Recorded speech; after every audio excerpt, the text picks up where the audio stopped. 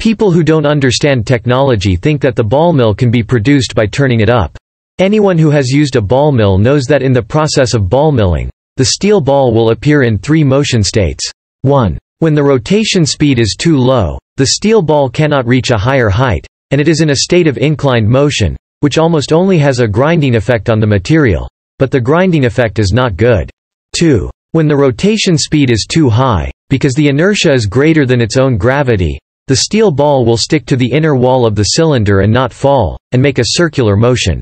At this time, the steel ball does not have any impact or grinding effect on the material. 3. The manufacturer's technician can adjust the speed to a moderate state so that the steel ball is in a state of throwing motion, which can have a greater impact and grinding effect on the material, and the grinding effect is better.